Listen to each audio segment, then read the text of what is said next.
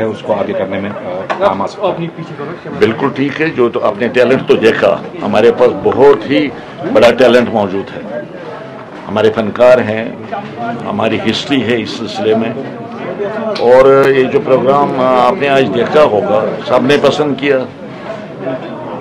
हमने एक दहानी उनसे कराई कि जो भी इनकी प्रॉब्लम्स होंगी इस फन को आगे ले जाने के लिए सरकार जो रोल बनता है मैंने कहा मैं मुदाखलत करके सरकार के सामने इनके काज को पेश करने की कोशिश करूँगा।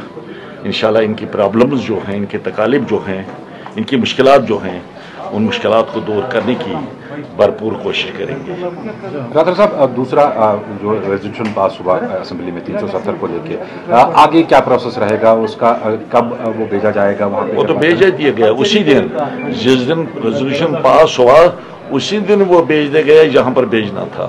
तो ये आप तो वैसे जो पॉलिटिकल पार्टीज़ है उनसे बात कीजिए तो मैं एक नॉन अलाइंड आदमी हूँ। मैं नॉन पॉलिटिकल हूँ। मेरा किसी सियासी जमात के साथ कोई वास्ता नहीं है। मगर जहाँ तक रेजोल्यूशन है रेजोल्यूशन हमारी असम्बली में पास हुआ और जो हमें करना था उस सिलसिले में आगे भेजने के लिए वो कार्रवाई हमने उसी दिन बीजेपी ने लगातार- राठौर साहब, जब से बीजेपी ने- तब से वायलेंस रुकने का नाम नहीं ले रही है। कंटिन्यूस इनकाउंटर्स कंटिन्यूस के लिए देखिए मैं आपको बताना चाहता हूँ ये जहाँ तक लॉ एंड ऑर्डर का ताल्लुक है ये स्टेट सब्जेक्ट ये स्टेट सब्जेक्ट नहीं है law and order law and order और पुलिस जो है ये सेंट्रल सब्जेक्ट है।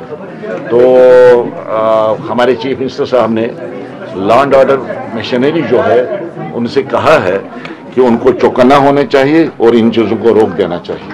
कोई बयस नहीं है स्पीकर देखिए स्पीकर का क्या रोल होता है? महदूद रोल होता है। स्पीकर को प्रेजाइड करना होता है हाउस में। उसके बाद जब वोटिंग की बात आती है किसी भी इशू पर तो स्पीकर को मेम्बरान गिनने होते हैं? हक में कितने हैं? खिलाफ कितने हैं? मैंने गिन लिए लोग कि इस रेजोल्यूशन के हक में कितने थे?